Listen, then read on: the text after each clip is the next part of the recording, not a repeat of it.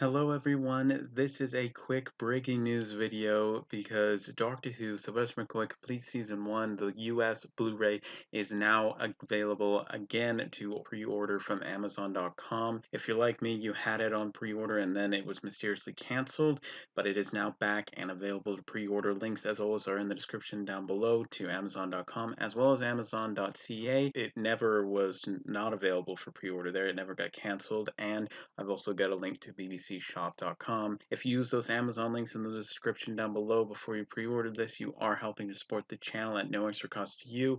Again, this was very weird that it got canceled, and I know a lot of you had asked me to let you know when this was back up for pre-order. The release date, according to Amazon.ca, is September 21st of this year, and that is also corroborated by BBCShop.com. Also, there are currently some deals going on for the classic Doctor Who Blu-rays. The Jon Pertwee Complete Season 2 is only $42, and the others are in the $40 range to the low 50s. Again, links are in the description down below. Comment down below with your thoughts on this set and if you've got it on pre-order or if you have the UK one. Thanks so much for watching. Stay safe, keep growing your knowledge collection and connection with other Doctor Who fans. Albert the Adipose is somewhere but says hello. Thanks so much for watching, and I'll see you in the next video. Bye!